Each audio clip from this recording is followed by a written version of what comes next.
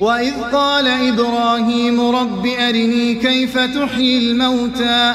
قال أولم تؤمن؟ قال بلى ولكن ليطمئن قلبي. قال فخذ أربعة من الطير فصرهن إليك ثم اجعل على كل جبل منهن جزءا ثم ادعهن يأتينك سعيا واعلم أن الله عزيز حكيم. مثل الذين ينفقون أموالهم في سبيل الله كمثل حبة كمثل حبة أنبتت سبع سنابل في كل سنبلة في كل سنبلة مئة حبة.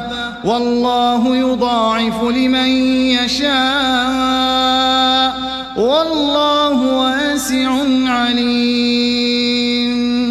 الذين ينفقون أموالهم في سبيل الله ثم لا يتبعون ما أنفقوا منا ولا أذى. ثم لا يتبعون ما